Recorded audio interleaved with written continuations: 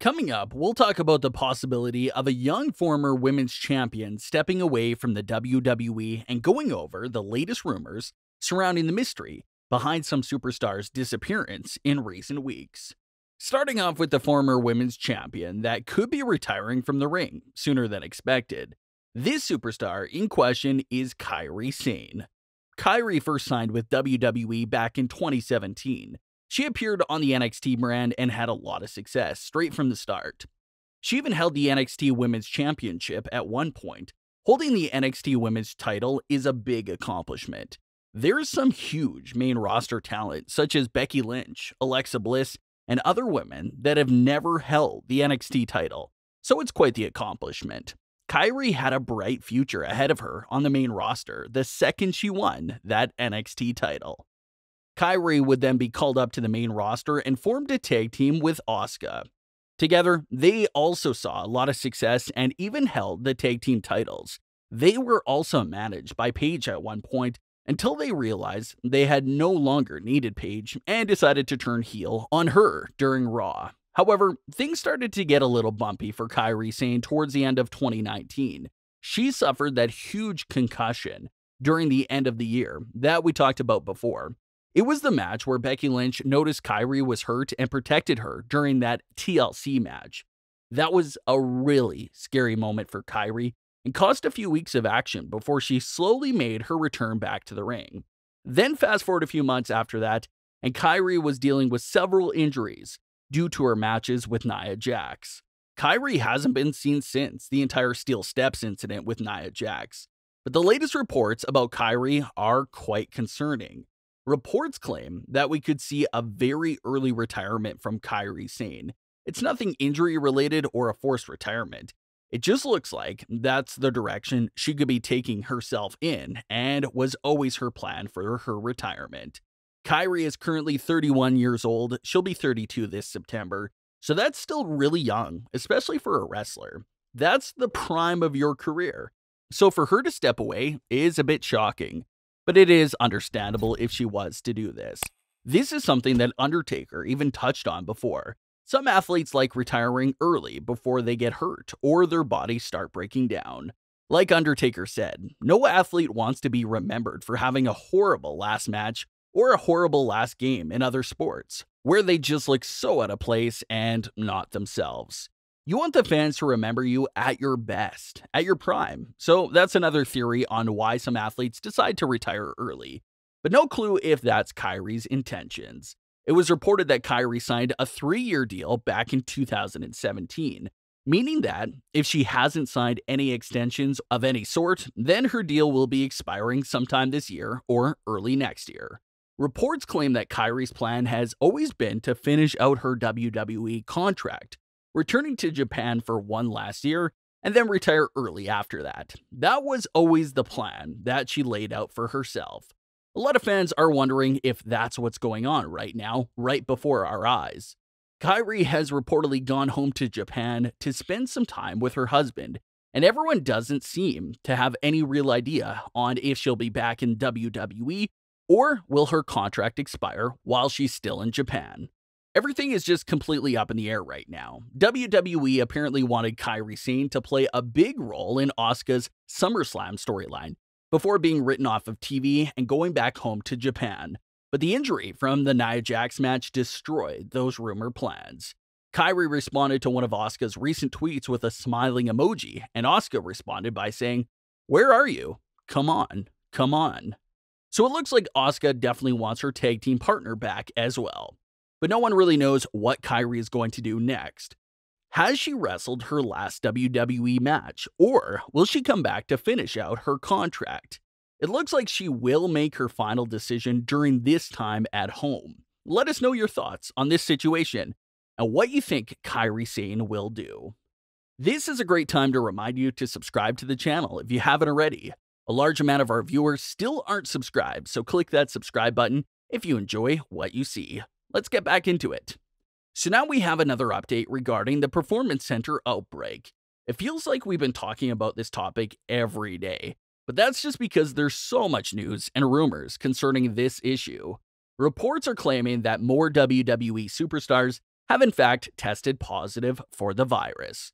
Of course, due to WWE's rule of forbidding superstars to comment on their result, we won't really know who else is affected by this outbreak in the company. However, fans and reporters are still speculating about some of the superstars that have now missed two consecutive tapings.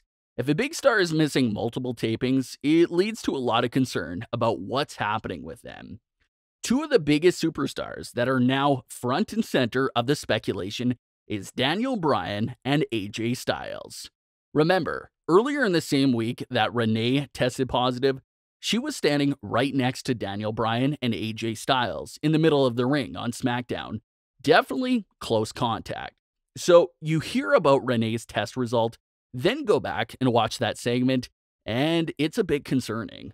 All the WWE superstars were surrounding the ring, but the only ones extremely close to Renee Young was AJ Styles and Daniel Bryan. There's been no confirmed news concerning AJ and Daniel Bryan. The only information that we all have is that the taping right after the first outbreak week, AJ did return a week later, so he seems okay. However, AJ and Daniel Bryan weren't the only superstars missing. There was quite a few superstars missing from SmackDown over the last few weeks. Some have speculated that this might have been the reason why WWE aired the entire Boneyard match on SmackDown. With the commercials and everything else in between, the Boneyard match ate up about 40 to 50 minutes of SmackDown's airtime. That's nearly half of the entire show. So many fans are wondering was the Boneyard match just used as filler because they were missing so many SmackDown superstars? That's how I read the situation. Airing the Boneyard match took a lot of pressure out of WWE for that edition of SmackDown because all they had to do was come up with an hour of content since the Undertaker match ate up the other hour. So airing that match definitely made life easier for WWE. But what happens from this point forward?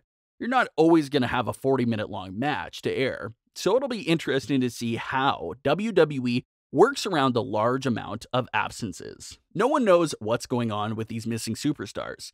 It could be that they're being sent home as a precaution to self quarantine themselves after working so closely with Renee Young, and others that tested positive, or maybe they're just deciding to sit out on their own. No one knows for sure.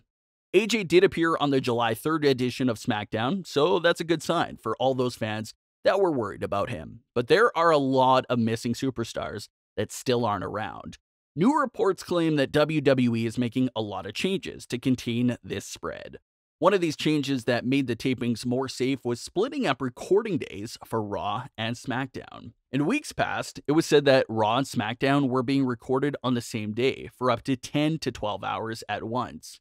That was obviously a bit unsafe because the backstage area was flooded with talent from both Raw and SmackDown.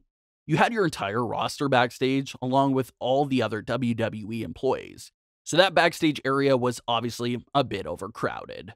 If one positive testing star was at one of those tapings, then you're risking a huge outbreak. So WWE has now split the days up.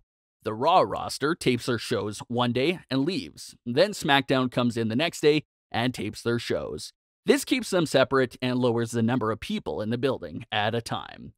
This lowers the risk, it has less people backstage at a time, and reduces the interaction between all the superstars.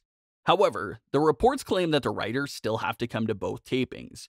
Remember that after the removal of Paul Heyman from the creative team, WWE combined all of the Raw and SmackDown writers, so they're required to be at all the tapings. These writers will also have to interact with both the Raw and SmackDown rosters, so the risk might be higher than others. Reports claim that there is now a strict mandatory mask rule backstage as well, all superstars and other employees are required to wear a mask backstage, and you will be fined if you're caught without a face mask. So that's definitely another good step for WWE. They went from no masks allowed to mandatory face masks for everyone in under a week. So that's quite the big change in a short amount of time, but it was the right change.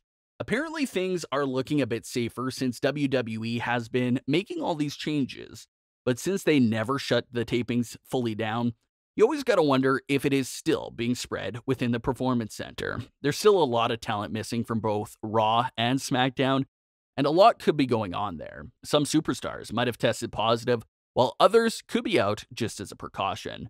We don't know much at the moment, but the next few tapings and who's there could tell us a lot. What are your thoughts on Kairi Sane's rumored early retirement? And how do you feel about the changes WWE is making to make the tapings more safe? Do you think WWE is doing the right thing with all the changes to their procedures? Let us know your thoughts on these issues. Leave your comments. Don't forget to subscribe with all notifications on and leave a like if you enjoyed. Thanks for watching, guys.